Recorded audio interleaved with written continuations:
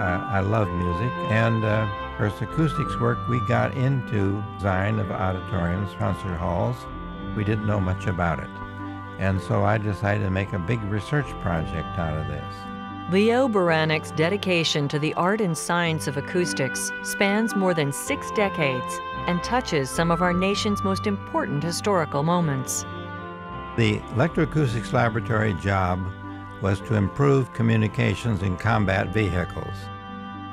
Post World War II was the beginning of Beranek's expansion into a diverse spectrum of acoustical projects.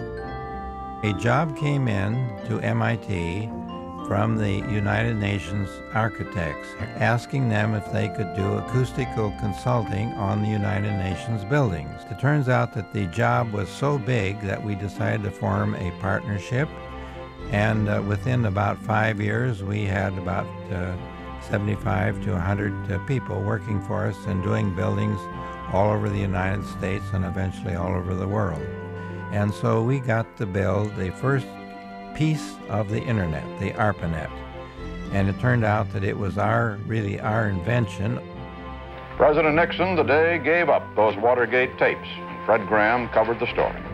I would say the Watergate thing was more decisive. They were, of course, concerned about these missing uh, minutes on the tapes that in Nixon's time.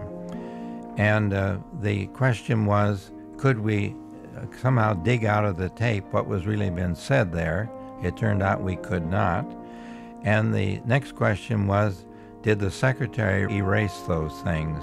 And we concluded she was not, that the erasures were done by an amateur and not by a, somebody who knew how to use the equipment.